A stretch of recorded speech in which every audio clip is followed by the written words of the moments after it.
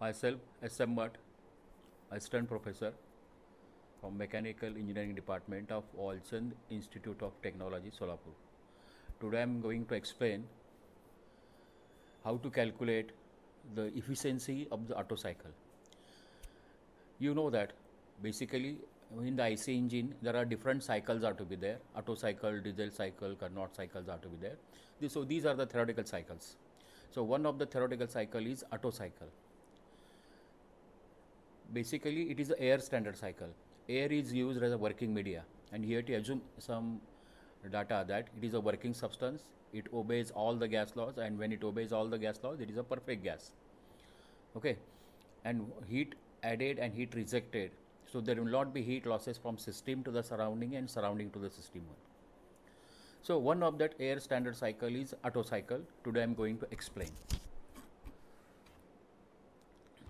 The basic learning outcome of this session will able to derive the expression for the Otto cycle for calculating the efficiency of that engine efficiency of that plant efficiency of the machine. So here i am showing this graph of this air standard cycle. Basically here are four cycles are four processes are there or cycle. I am showing here process this 1 to 2 2 to 3 3 to 4 and again comes to initial condition 1 initially the process started at from 0 to 1 here you have to neglect it initially starting positions once the process started it moves to 1 to 2 2 to 3 3 to 4 and 4 to 1 again moves to 1 to 2 so here there are two adiabatic processes are there and two constant volume process are there. Air is used as a working media.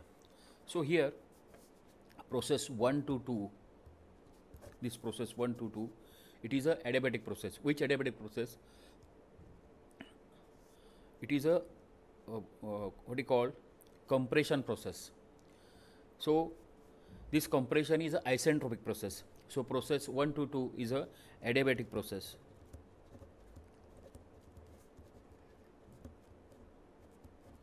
Process 1 to 2 is adiabatic. Whatever the air you have to suck in the 0 to 1 it get compressed. So it moves from volume v1 to the v2 here it is v1 to the v2 and due to which temperature is to be increases. This is a process 1 to 2 so it obeys the gas law. P into v raised to gamma is equal to constant. Then process 2 to 3 after 1 to 2 it moves here 2 to 3 it is a constant volume heat addition process. So heat is added q in is there. And this volume v2 is equal to v3 so it is a constant volume heat addition process. So in this process heat process 1 to 2 or it is called as the qs is mcv cv means it is a constant volume process. Mcv t3 minus t2 so temperature rises from t2 to the t3 and at the point of 3 it is the highest temperature is to be there. And whatever the heat addition is to be going on here that is a constant volume. So that's why this process process 2 to 3 is called as a constant volume heat addition process. Process 1 to 2 is a adiabatic process adiabatic compression process or isentropic process to be there. And process 2 to 3 is a constant volume heat addition process. Then third process process th- 3 to 4 here is a expansion process. After heat addition at that point burning is going on in that IC engine. Heat is added or temperature is such a high conditions that so when the explosion is going on you get the work output from that system. And the volume is raised from 3 to 4 v3 to the v4 and this process again it is a adiabatic process. It obeys adiabatic law. So process 3 to 4 is a expansion process or or here you get the work output from that system. So process 3 to 4 is a adiabatic expansion process.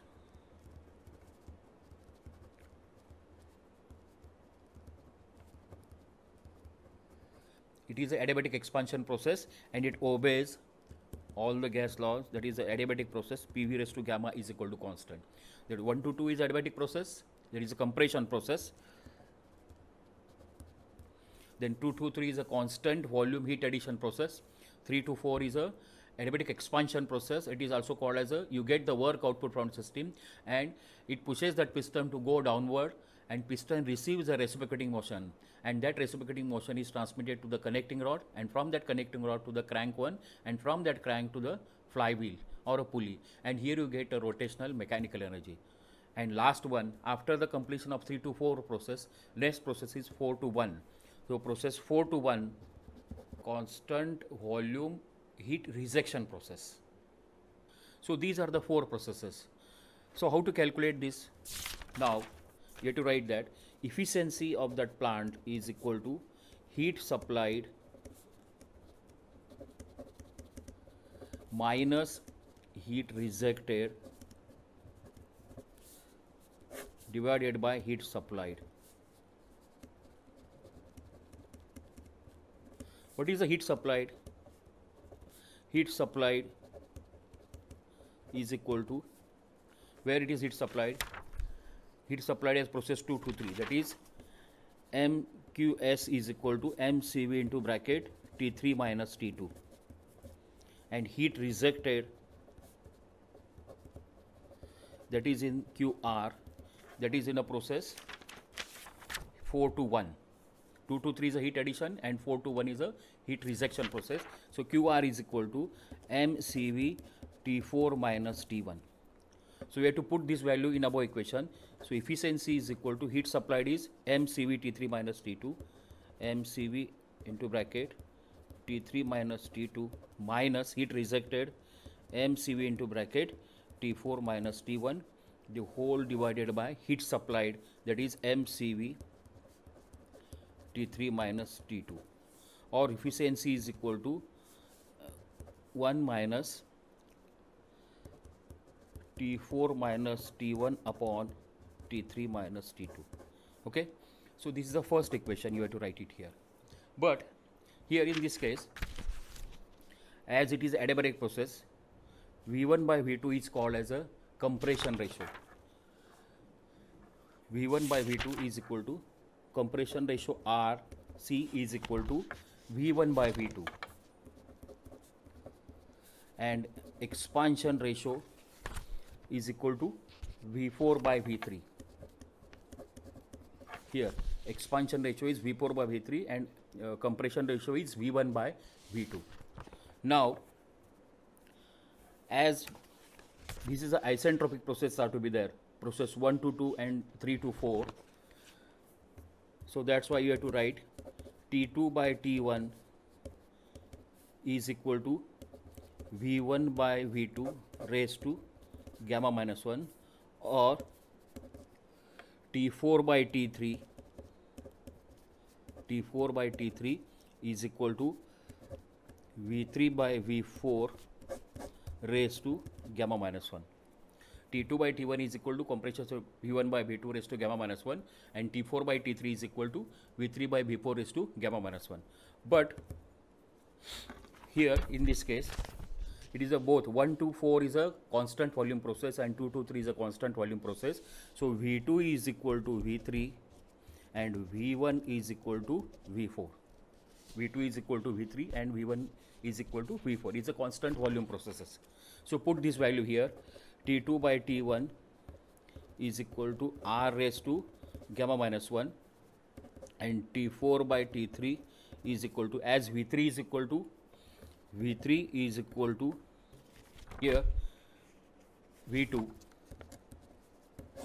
and V4 is equal to V1 you have to put the value V3 is equal to V2 and V4 is equal to V1 raised to gamma minus 1 or it is equal to 1 by R raised to gamma minus 1 therefore you have to write T2 by T1 is equal to it is a 1 by r raised to gamma minus 1 you have to write t3 by t4 is equal to r raised to gamma minus 1 so t2 by t1 is equal to t3 by t1 t4 is equal to r raised to gamma minus 1 to put this value in the efficiency what is the formula for efficiency so efficiency is equal to here you have to write 1 minus T4 minus T1 divided by T3 minus T2. Put the value. So efficiency is equal to 1 minus, put the value of T4. What is the value of T4? Value of T4 is equal to T3 upon R raised to gamma minus 1. T3 upon R raised to gamma minus 1 minus put the value of t1 put value of t1 is t2 by r raised to gamma minus 1 t2 by r raised to gamma minus 1 this whole divided by t3 by t2 so efficiency is equal to now 1 minus this t3 uh, get cancelled 1 t3 minus t2 1 minus 1 upon r raised to gamma minus 1. So it is a value. Could calculate the efficiency of the IC engine. That is for a Otto cycle. Now pause the video, think over that. Which value we have to require to calculate this one or when you have to increase the efficiency of that plant. Because you know all these derivations that is from 1 to 2 is a uh, adiabatic process that is two adiabatic process 1 to 2 and 3 to 4 and another two are a constant volume 2 to 3 and 4 to 1 then how to increase the efficiency of that plant? Yes. To increase the efficiency of that plant to increase the efficiency of that plant you have to increase the value of r. R means a compression ratio R means the value of compression ratio. So when you have to go for a graph of this one, how to increase the efficiency of that plant. So efficiency versus compression ratio, you take the value 20% efficiency, 40%, 60%, 80%. The gamma you have to regularly use a 1.4 that is the ideal one. So it is a for a and gamma for 1.8 and gamma for 1.2. So this value, when the value of R is to be increased, the efficiency of that plant going on increase one. Okay. So from this derivation, you have to know how to increase the efficiency of that plant or how to calculate the efficiency of the Otto cycle. So taking the references by basic mechanical engineering by Singhal.